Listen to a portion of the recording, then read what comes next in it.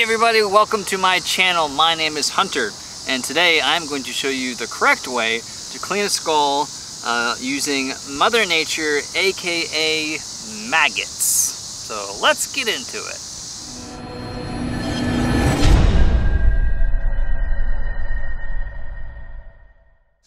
Okay, so the process is really not all that complicated. There's just a few things that are going to make this work better than it might normally. Uh, first of those being um, you have to keep the skull moist. If you just stick it out in the sun, uh, the maggots will get to it, but it will dry up really, really quickly, uh, and then they will die off quickly as well. So uh, what we're going to do is we are going to put the skull inside of a bag that is going to contain the moisture, and then we are going to stick it into another container. I'll show you here in a bit. That way just keep rodents away, keep everything in one place, and it just makes cleanup a lot easier. The next thing that's going to make this work just a little bit better is to skin the skull out first. Um, the maggots will help down to help to break down the skin, uh, but it's just a lot easier for them just to go at all the tissue instead. So I've done that with one just to show you the results in comparison uh, to another uh, goat skull here that has the skin on it. Uh, we're going to put it in this container. As you can see, I've got lots of holes for the flies to get in, but coons and stuff like that can't get in there to take the skull.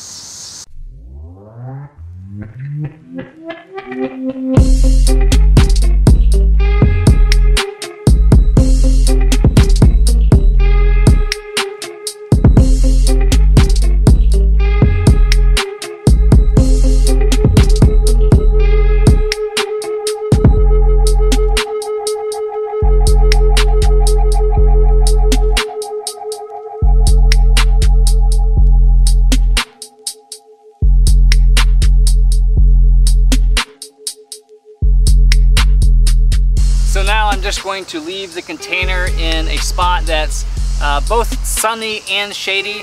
I'm not gonna put it out just in the direct sun. Um, I do want the maggots to have a nice comfortable place to do their thing. So just a nice warm environment, but not too extremely hot uh, that they die off. And then we're just gonna leave it there. Let them do their work.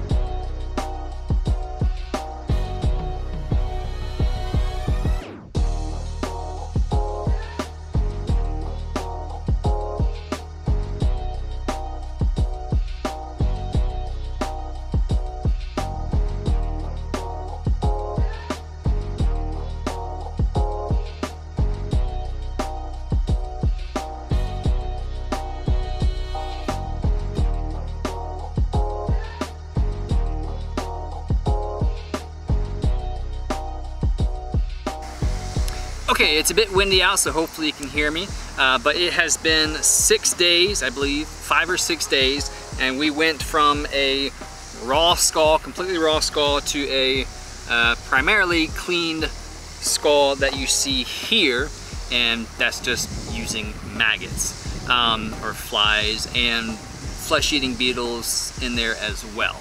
Um, couple things, just again, keep the skull nice and moist. That does help uh, the maggots do their work. Put it in a bag. Um, it, it does seem to help. Uh, this one, I just left the skin on, didn't do anything like that as far as the bag goes. And as you can see, there's a lot of hair that gets stuck into the skull. Um, I did lose some of the teeth on this skull. This one that was in the bag, I have all of the teeth. The skull is absolutely complete, so I'm not missing anything there. I couldn't find some of the smaller ones uh, with this skull and all the grime. Now, if there are still maggots in the skull when you take it out, you can simply just submerge it into a bucket of water, like you see me doing here, and all the maggots that are alive will wriggle out and float to the top, and then you can just dump those out. Now, depending on uh, when you take the skull out of there, um, you may need to continue cleaning it uh, via maceration, uh, which I will do with these skulls just because um, I kind of did the shortest period of time possible for the video, again about six days. Uh, so I'm just gonna finish it up uh, in a bucket of water just to make sure everything's out of there and then I will move on to degreasing and whitening the skull. But if you just leave it there for the maggots and the other little critters to, to take care of longer, um, you may not even need to uh, macerate the skull. You can simply go straight to degreasing and whitening it. And one last thing, even with skulls that have horns on them, horn sheaths, uh, works perfectly fine. The horn sheaths are not damaged, they slip right off and you can process them uh, like you would any other skull. And that is it. I mean, it's pretty darn easy. Um, if you've got nice warm weather like we have now, uh, your times are gonna be super short and then you can just continue cleaning them uh, like you normally would. But yeah, it's a great option. You know, if weather permits, if you have the area to do it, yes, it does smell. I'm not gonna ignore that.